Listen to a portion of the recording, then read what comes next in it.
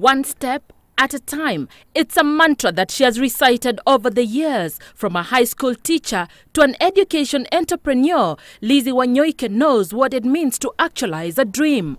She resigned from her position as the principal of a secretarial college in 1999 and ventured out. It was not difficult for me uh, because I had already made a name in the, that institution.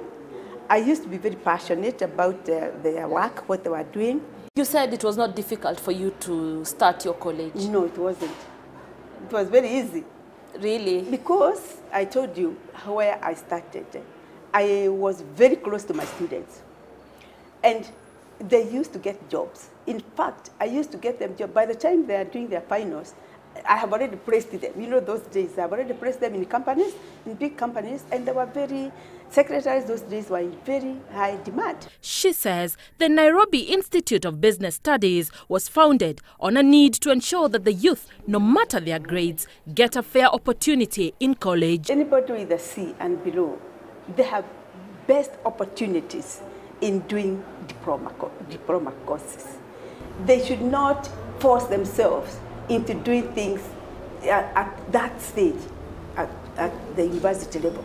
But this, the, the, the course they're going, the diploma they're going to, to, to get here is the one that will now make them enough, make them good enough to go to university. Wanyoike knows the power of walking a journey and picking the lessons along the way. When she started, she had just 25 students in a two-roomed space in Nairobi. At some point, frustrated by the demands of landlords, she moved to Ruiru and constructed her own college on a 10-acre piece of land. Gradually, she has grown to three constituent colleges to accommodate the swelling numbers of about 7,000 students. What about registration? Yes, I had a lot of problems. You know, a woman uh, has so many disadvantages, especially when you are honest, when you don't want to compromise your values. I remember I, I, was, I was being forced to bribe, which I refused to bribe. I remember walking to one of the offices and crying there because they're talking in a language I could not understand, you know and I did not know it's money they wanted. So it, it, I went through some challenges, but eventually I got the, the registration, and then when they came to inspect, they found a college, you know, ready with the students, because we are allowed to do that, and it's very neat and everything. So, uh, yeah, the problems, challenges were there, but it took off. Passion drives her engagement with her students. I really talk to these students. I'm very close. I love them. You know, it comes from my from my heart.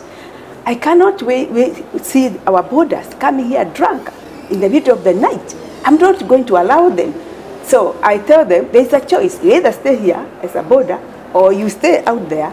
And you know, out there, that's where the problems are. I can tell you, Anne, what is happening in some of these hostels, your sister, if she's there, maybe she's married. And you don't know, she's uh, already can we stay of college, which lasts for two months, for two years. Then after that, they go their way. But life can change. It's very sad. Tonight, she launches her book titled Empowering the Youth Through Training. It partly speaks to the role of parents in their children's lives. Do you have time for your children? Parents have become so busy in their line of duty that they end up becoming strangers to their children part of her journey is also captured in this office space. This is what keeps me going on. That thank you, that one thank you, and you know, makes you feel, you gives you the strength to go on and on and on. For Citizen Weekend, I am Anne Mawathe.